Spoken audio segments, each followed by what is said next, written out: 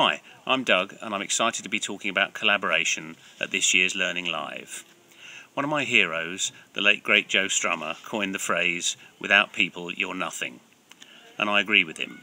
Whether it's in life, the universe or just plain old work, he's right. Without people you're nothing.